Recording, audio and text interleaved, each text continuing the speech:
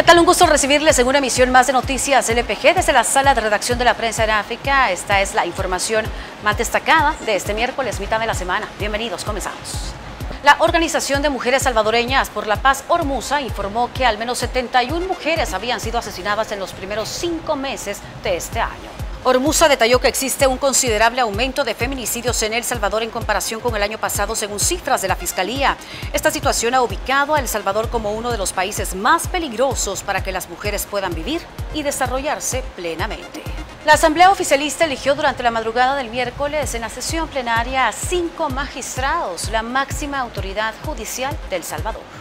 El proceso fue catalogado de ilegal por diputados de la oposición debido a que según la Constitución de El Salvador una misma asamblea no puede elegir en más de una ocasión a magistrados de la Corte Suprema de Justicia. Oscar López Jerez, que fue impuesto por la Asamblea Oficialista como presidente de la Corte de la Sala de lo Constitucional y del órgano judicial, continúa en ese cargo por tres años más, pero su periodo como magistrado dura nueve años. Los acusados de asesinar a Flor María de Valle fueron enviados a prisión provisional mientras continúan las investigaciones.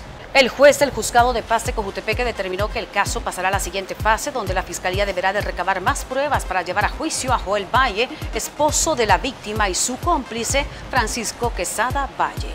Y agricultores de San Miguel están preocupados por la aparición de langostas que amenazan 300 manzanas de cultivos de café.